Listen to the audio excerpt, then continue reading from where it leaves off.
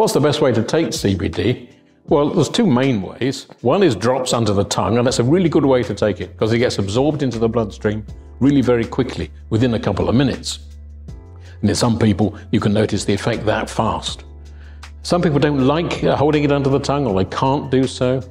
Uh, so you can swallow it, you can take it orally into the stomach.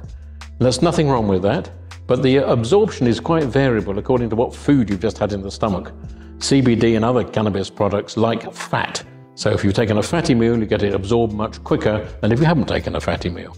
Also in the stomach, it goes from the stomach to the liver, and in the liver it gets metabolized. So what you finally get in the bloodstream is not necessarily exactly what you took by mouth.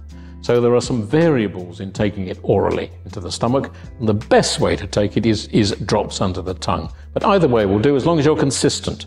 Be consistent with the food, be consistent with the dosing. Another way to take CBD is topical. Put it on the skin. It gets absorbed into the skin, not so much in the bloodstream, only a tiny bit into the bloodstream.